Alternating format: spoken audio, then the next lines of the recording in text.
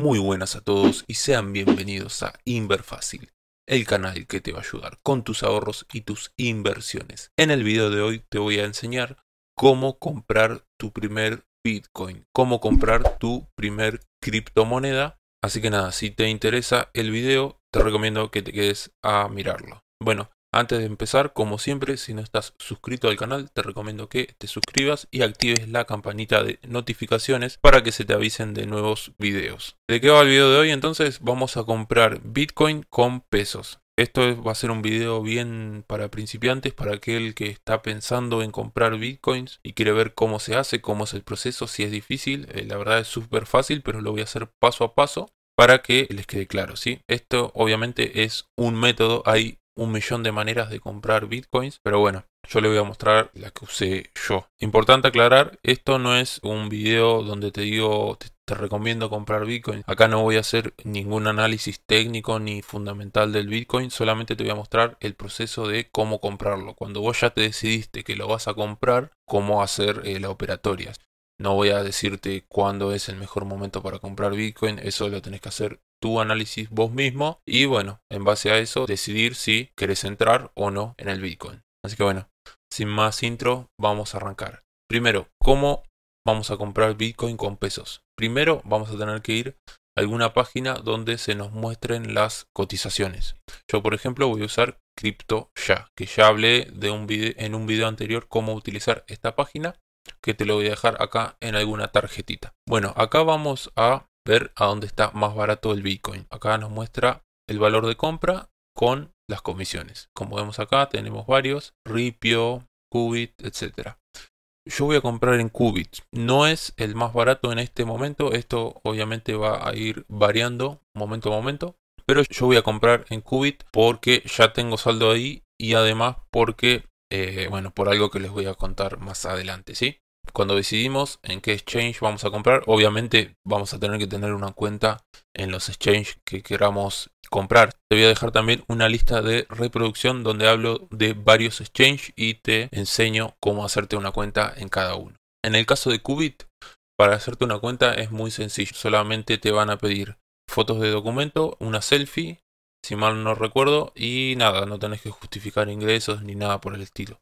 Si se quieren registrar en Qubit, les voy a dejar en el primer comentario o en la descripción un enlace de referido donde mediante ese enlace los va a llevar directamente a la página de Qubit para que se registren. Así que bueno, una vez que tienen ustedes la cuenta, lo que van a hacer primero, antes que nada, es cargar saldos. O sea, vamos a cargar pesos podemos comprar también eh, con dólares. Bitcoin no, podemos comprar DAI con dólares, ¿sí? Pero bueno, primero vamos a cargar saldo pesos. ¿Cómo lo podemos cargar? Bueno, yo lo voy a hacer mediante transferencia bancaria. En realidad no lo voy a hacer porque ya tengo el saldo en la cuenta, pero se puede hacer, tiene acá otros métodos, por ejemplo, pago fácil, rápido pago, no sé si funcionará, pero la que sí sé que funciona es por cuenta bancaria. ¿Cómo se carga Saldo, el mínimo, el monto mínimo para cargar es de 1400 pesos. Es un saldo muy bajo que esto también me gusta Qubit porque es uno de los exchanges que tiene eh, los menores requisitos y los menores montos para operar. Bueno, acá simplemente ponemos el monto que vamos a cargar. Por ejemplo, si cargamos 1400 pesos, el mínimo,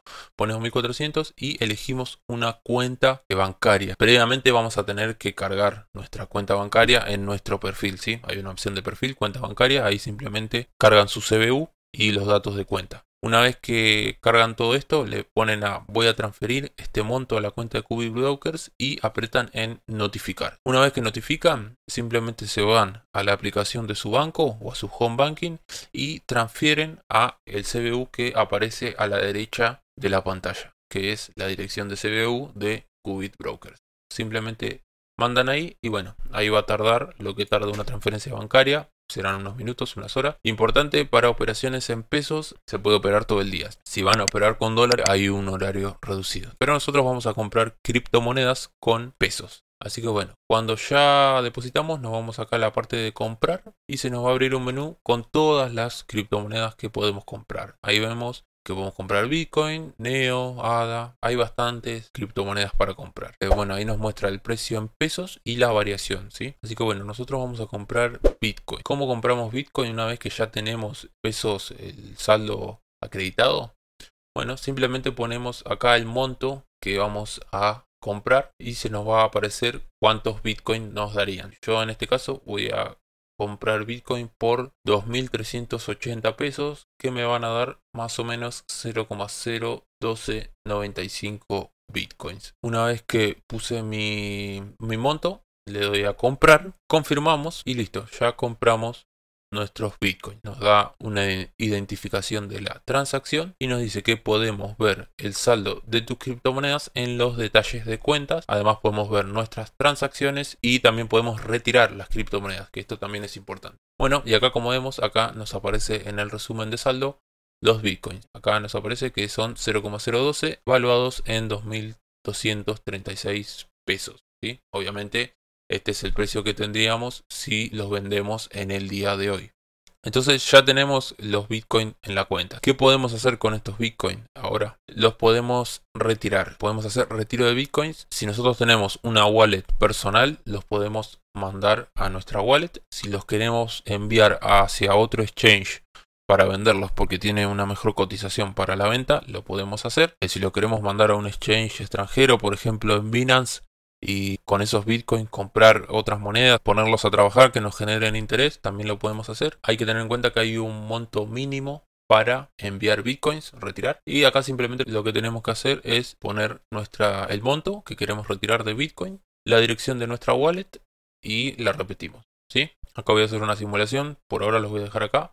Pero acá vemos que el monto permitido mínimo es de 0,012 Bitcoin. Como ven, yo tengo 0,01295, así que los podría retirar. También, esto es muy importante, que la comisión de retiro de Bitcoin es de cero, ¿sí? O sea, que no nos cobra retiro de comisión, que la mayoría de los exchanges nos cobran por el retiro. Acá digamos que está subsidiada, así que es un punto a favor de Qubit, ¿sí? Nosotros podemos comprar Bitcoin y los mandamos. Esto es en el caso de Bitcoin, ¿sí? Para las otras criptomonedas varía según la red que utilicen. Pero en el caso de Bitcoin, si los queremos mandar a cualquier lado, no vamos a tener que pagar ninguna comisión de retiro. Así que bueno, eh, eso sería todo por lo de comprar Bitcoin. Como les dije, este es un método. Hay miles. Pueden comprar en varios exchanges, en varios lados. Pueden comprar y dejarlos acá. Pueden comprarlos acá y mandarlos a otro lado.